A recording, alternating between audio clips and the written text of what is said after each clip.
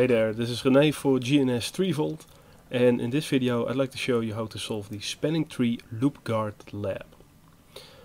So in this topology I got three switches. They're connected in a triangle, so we got a layer 2 loop here. Spanning tree will of course block an interface, so it will stop our uh, loop or to create a loop-free topology. And the idea behind loop guard is um, imagine if you have a fiber link, you got two different connectors. There's a transmit connector and a receive connector. And it's possible that one of those connectors will fail, so you have a unidirectional link failure.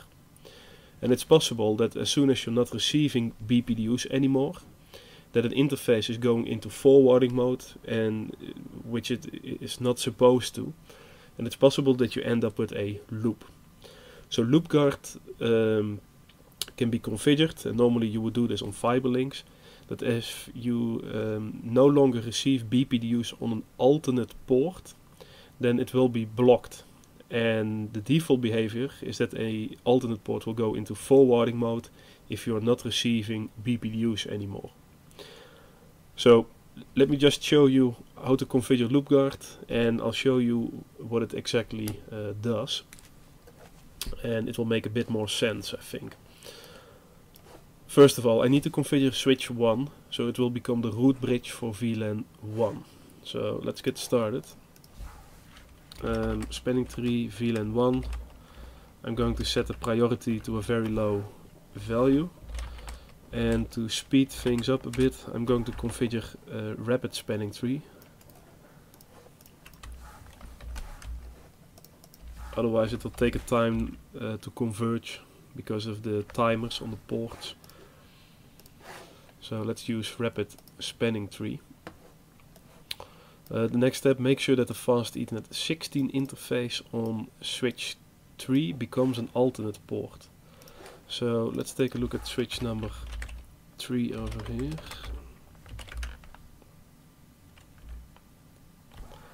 And right now I only see interface 14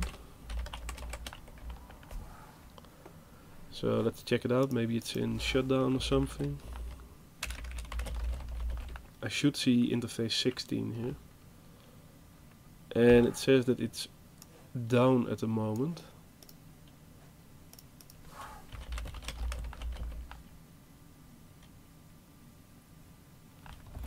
And that's because there's a shutdown command over here so no shut.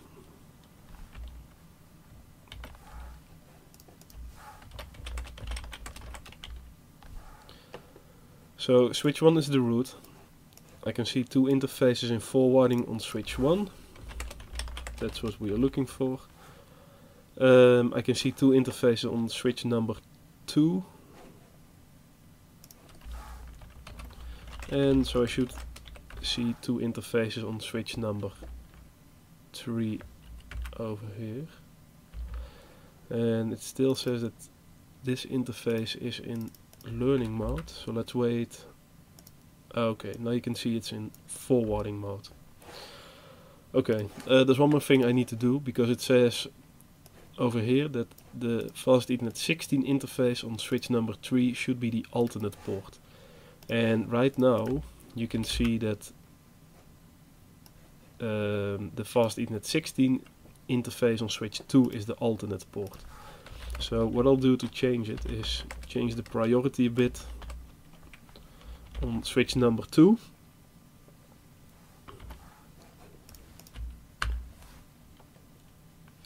Now you can see it's different. So right now fast Ethernet 16 is now the alternate port on switch number 3 and that's because the priority on switch 2 is better than the priority from switch number 3 so that's what I was looking for. And the next task it says configure the fast ethernet 16 interface so it does not send or receive any BPDUs this will cause a loop. So um, what I can do because I, I do not have any fiber links uh, I only got fast ethernet links on uh, copper but what I can do is enable BPDU filter for example and BPDU filter will make sure that I'm not sending any uh, BPDUs anymore. It will not send or, or receive them. So what we'll do is enable the BPDU filter on switch 2. So go to the interface. First of all I'll need to enable port fast. And the next step is to enable the BPDU filter. So BPDU filter enable.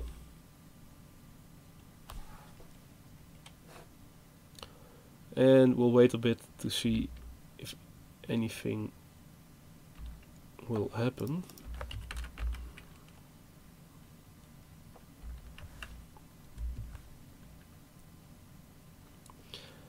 So you can see there's a difference here.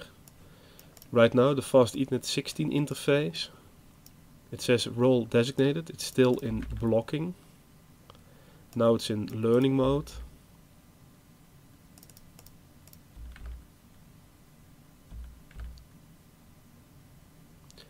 And now it says designated forwarding.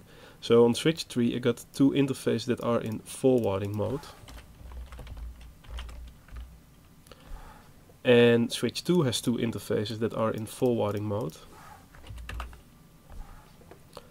And switch 1 also has three, uh, sorry, two interfaces that are in forwarding mode.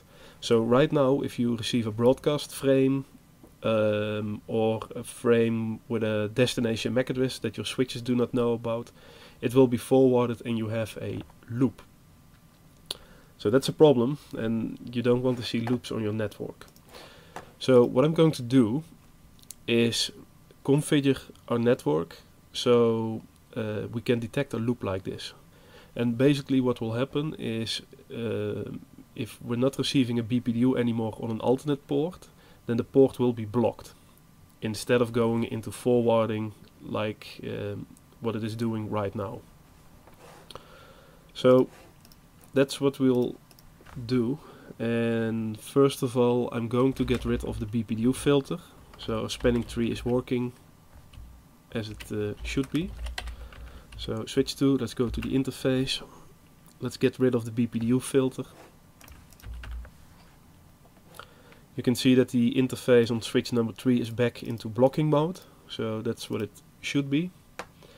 And now I'll configure loop guard on all of my switches. And there are two methods of doing this. You can do it uh, globally with the spanning tree loop guard default command. That's the fastest way of doing it. You can also do it on the interface level. So right now spanning tree loop guard has been enabled. You can see that this interface is still in blocking mode. And what I'll do now is enable the BPDU filter again. So switch number 3 is no longer receiving BPDUs anymore on its alternate port. And we should see a difference uh, now. There we go. So you can see this spanning tree loop guard block, loop guard blocking port fast ethernet 16 on VLAN 1 and it's blocking this interface because it is no longer receiving any BPDUs. There we go. And you can see it says designated, but it's being blocked because of um, loop guard. And I think that's the last task for this lab. Yep, that's it. So that's spanning tree loop guard. Keep in mind, normally this is something you will only do for fiber links because it's possible that your transmit connector is still working but you're not receiving BPDUs anymore.